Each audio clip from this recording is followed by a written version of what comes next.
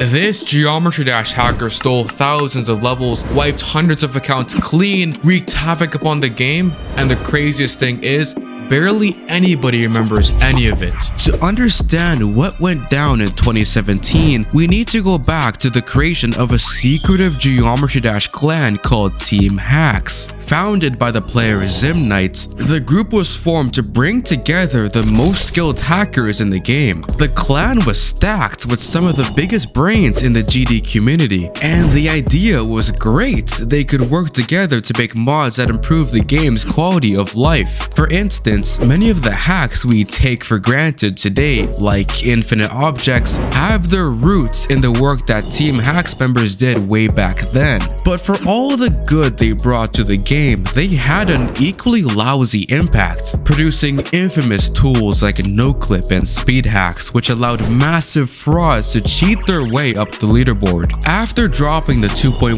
updates, RobTop tried to patch up all the exploits and create a better anti-cheat system, but it seemed as though TeamHax would get around the fixes as fast as he'd create them, with one member making an anti-anti-cheat, which lets you avoid the defenses RobTop put up against hacks like NoClip. He kept fighting against them, but eventually he sort of gave up and focused on more important matters, leaving TeamHax' mods to run free within the game. Hacks that let you jump forever, tools to instantly unlock everything, exploits to steal other people's levels, their damage to Geometry Dash would be permanently cemented in the developer's mind, and they'd have a shaky relationship ever since. Despite the edgy hacker persona that Team Hack showed off to the world, they genuinely tried to do some good for the game, with them constantly reaching out to RobTop regarding server security.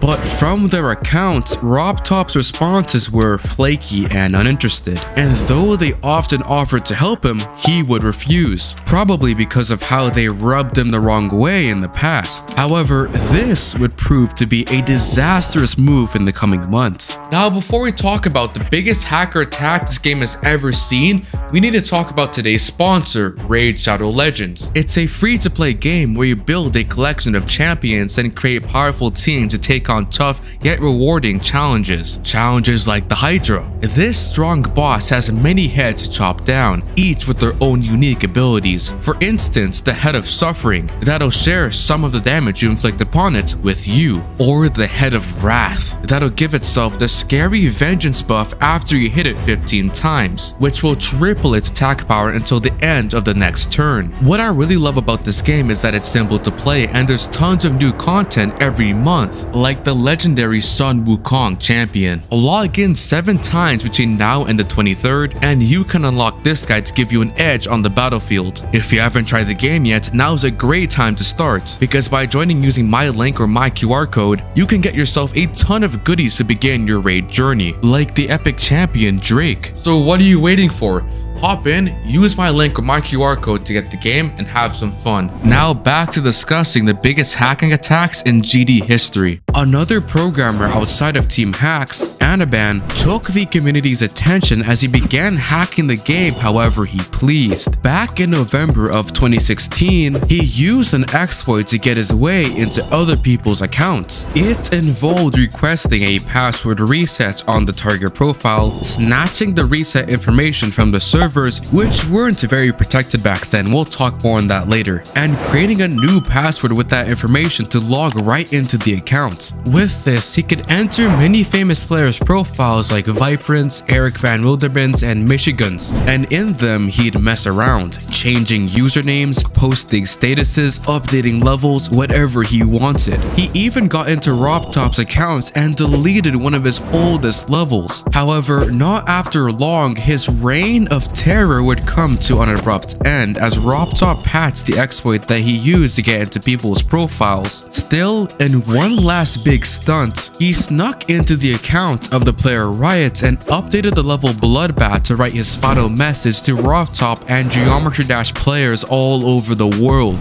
It said that you should subscribe to FreshLakeWater on YouTube and hit the like button. Did it work? Ah, worth the shot. The message said that hacking the game was fun, but he was done doing it. Never give up on your dreams and goodbye. And with that, Anaban was gone. Now, what if I told you that this attack didn't do a fraction of the damage the next one did? That something tremendously worse would arise after a scandal within the ranks of TeamHax. You know, RobTop did manage to stop Anaban dead in his tracks and patch up the exploits he used, but he didn't do much work fixing up server security beyond that. The game was still very vulnerable, setting the scene for a much worse raid that would almost kill Geometry Dash. February 27th, 2017 was a completely normal day for GD. The new 2.1 update came out just last month and people were still having fun trying out all the new features like the spider, the rotate trigger, and of course the new level. But on Geometry Dash Twitch, this mysterious new user named the Haxer27 was doing a live stream of the game. This wasn't any standard GD livestream of someone playing levels or building maps. No, no, no. He was streaming himself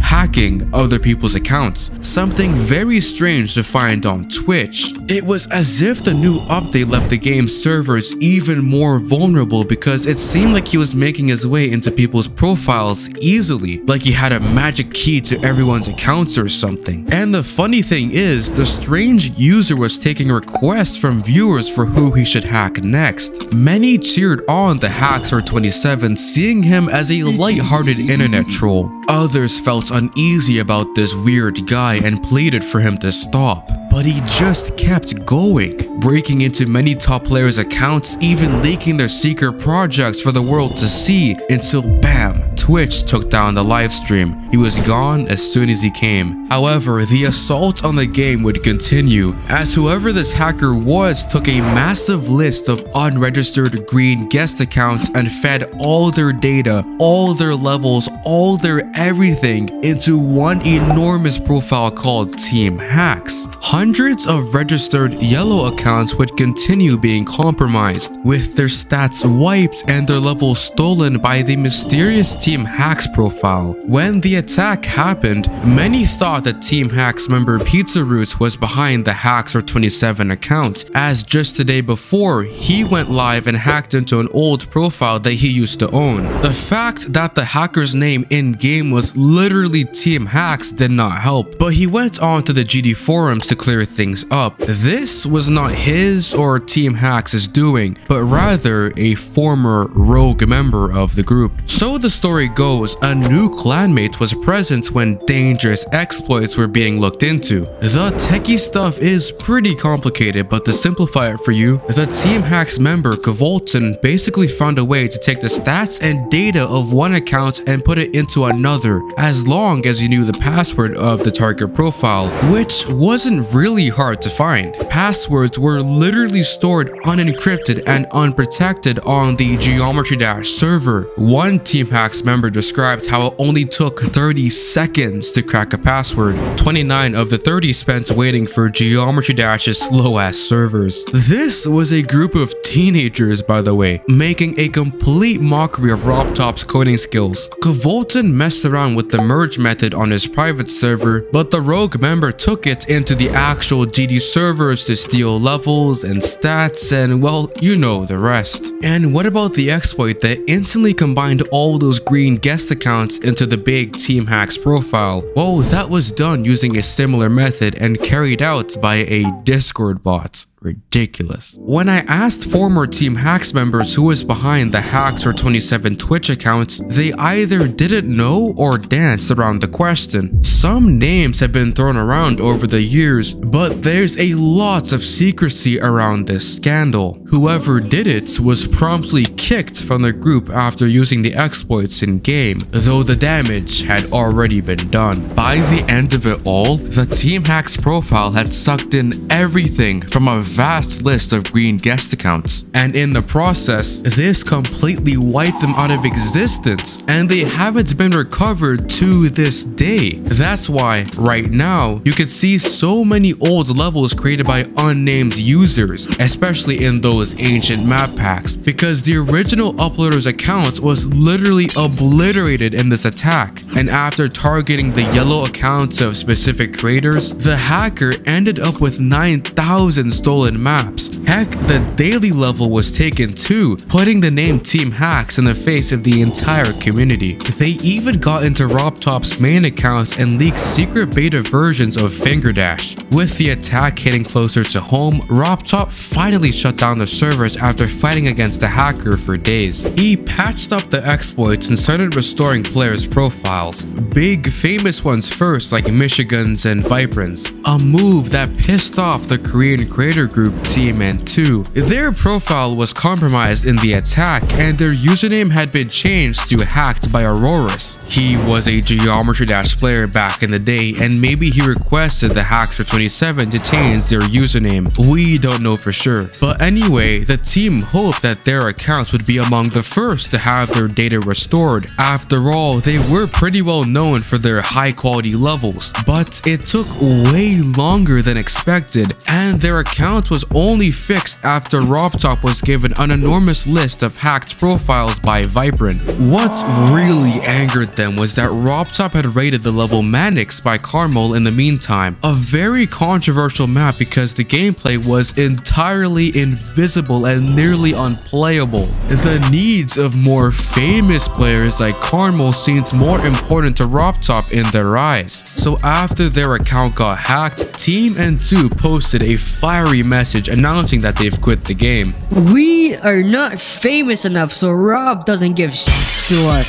So here's what we want to say. RobTop should not just listen to Viprin and Michigun and stop sucking the more famous guys' ass like a Their unfinished level, Master Spark, was abandoned and they haven't made a map since. Not all the damage could be repaired. The passwords for many accounts were stolen and thrown around all over the internet by the hacker during the scandal. And because of that, popular old profiles like Neptune's are probably owned by impersonators. One player named Redulock stumbled upon a vast list of stolen usernames and passwords on Twitter, and on it he saw TimelessReal's profile. That's the guy who made the Lightning Road a very popular Easy Demon. Seeing this, Redulock just took it. Better he have it than some random hacker, right? This same exact thing has probably happened to hundreds of other old accounts. The extent of the scandal's damage is enormous. While it would be easy to pin the entire event on TeamHax, as it was their exploits and their rogue member who attacked the servers, RobTop does have some blame to share. After all, it was his hilariously vulnerable servers that allowed the attack to happen. If TeamHax hadn't found the exploits, someone else sure as hell would've. Even after TeamHax gave advice and offered help to fix up the servers, RobTop was reluctant to act and rejected their support. In his eyes, TeamHax was a group of kids with nothing better to do. Since the attack, server security has significantly improved. However, we must stay vigilant for potential hackers as we enter update 2.2. Like really, you now know what happened after the last update. Who knows what kind of exploits are just waiting to be abused. Don't forget to use my link to download Raid Shadow Legends and get tons of cool stuff. But anyway, I thank you for watching and I'll catch you later.